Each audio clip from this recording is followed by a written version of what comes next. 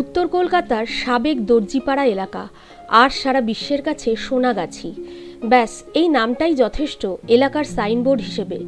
যৌনতার এই বড় বাজার সম্পর্কে নথিপত্র, ইন্টারনেট ইত্যাদি জানিয়ে দেবে এটাই এশিয়া মহাদেশের বৃহত্তম রেড লাইট ডিস্ট্রিক্ট। এই প্রকল্পের অংশ হিসেবেই উনিশশো বিরানব্বই সালে দুর্বার মহিলা সমন্বয় সমিতি নামে একটি সংগঠন গড়ে ওঠে যৌনকর্মীদের স্বার্থ রক্ষার লক্ষ্য নিয়ে।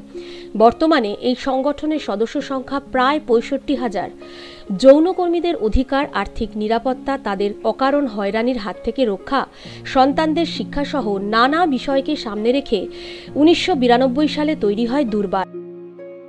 প্রতি বছর তেসরা মার্চ দিনটি আন্তর্জাতিক যৌনকর্মী অধিকার দিবস হিসেবে পালন করা হয়। রবিবার সোনাগাছিতে দুর্বারের ব্যবস্থাপনায় কয়েক হাজার যৌনকর্মী পেশার স্বীকৃতি দাবি করে পথে নামেন। তেসরা মার্চ দিচ্ছি ডাক, ইটপা আইন নিপাত যাক, যৌন পেশার স্বীকৃতি পাক। এই স্লোগানকে সামনে রেখে তারা অংশ নেন একটি মশাল দৌড়ে।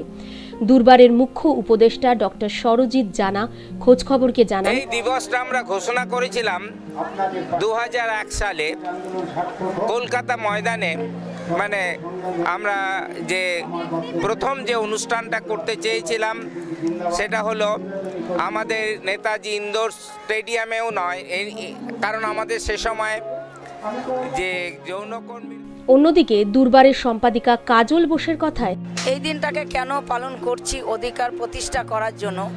এটা হলো দু হাজার এক সালে আমরা সল্লেক স্টেডিয়ামে একটা মিলেনিয়াম মেলা করব বলে উদ্যোগ নিয়েছিলাম আমাদের অধিকার প্রতিষ্ঠা করার জন্য মিলন মেলা।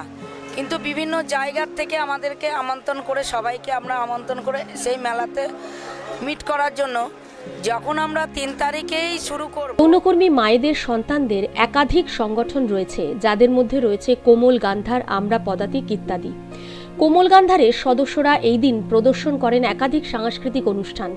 বেশ কিছু আন্তর্জাতিক স্বেচ্ছাসেবী সংগঠন নিয়মিত যৌনকর্মীদের স্বাস্থ্য, সামাজিক সুরক্ষা নিয়ে কাজ করেন। তেসরা মার্চ উপস্থিত ছিলেন তারাও। দিন যায়, দিন আসে। মিটিং, মিছিল, স্লোগান, হাজারো প্রতিশ্রুতি। তারপরেও কি বদলায় যৌনপল্লীর জীবন? সেই প্রশ্ন কিন্তু থেকেই যায়।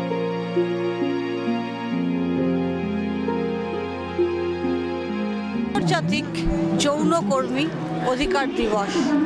প্রতি বছর তেসরা মার্চ নিজেদের অধিকারের দাবিতে, পেশার অধিকারের দাবিতে এই লড়াই বা এই দিনটিকে পালন করে আসছেন যৌনকর্মীরা। আজ থেকে বেশ কিছু বছর আগে নিজেদের দাবি জানিয়েই এই দিনটিতে সমবেত হয়েছিলেন এক ঝাঁক যৌনকর্মী। আজকে তাদের সেই সংগঠন দুর্বার ডালপালা মেরেছে। কিন্তু সেই অধিকার প্রতিষ্ঠিত হয়নি। অধিকার প্রতিষ্ঠার জন্য নিজেদের ন্যূনতম বাঁচার লড়াইয়ে সম্মানের দাবিতে আজও তারা রাজপথে সামিল। ক্যামেরায় শান্তনুর সঙ্গে অর্পিতা, খোঁজ খবর, কলকাতা।